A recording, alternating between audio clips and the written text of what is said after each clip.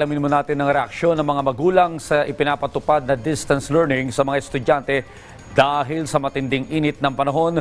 Si Bien Manalo sa detalye live. Bien?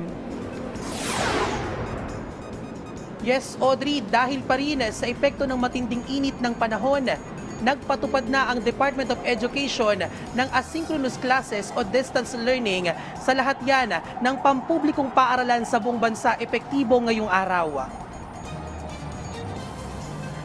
Nangangamba si Marcelo Remo sa kalagayan ng kanyang anak ng tatlong anak na nag-aaral dahil sa epekto ng matinding init ng panahon.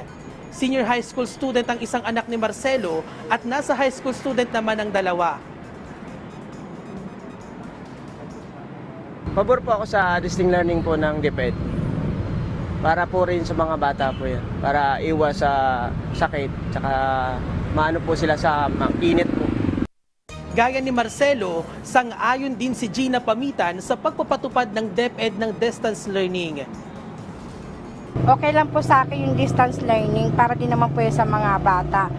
Kung meron mapapagawa yung mga teacher, pwede naman nilang gawin sa bahay yun. Kahit hindi sila pumunta ng school. Kasi nga naman, sa sobrang init ang panahon ngayon. Naglabas ng kautusan ng Department of Education sa pagpapatupad ng asynchronous classes o distance learning sa mga pampublikong paaralan sa buong bansa. Epektibo yan ngayong araw, April 8. Layo nito na bigyan ng pagkakataon ang mga estudyante na makumpleto ang kanilang pending assignments, project at iba pang requirements. Bukod sa mga estudyante, hindi na rin kinakailangang mag-report ngayong araw ng mga teaching and non-teaching personnel sa mga paaralan.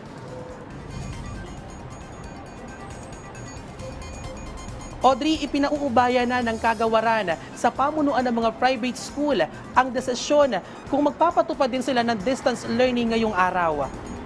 At yan muna ang update. Balik sa iyo, Audrey. Maraming salamat, Bien Manalo.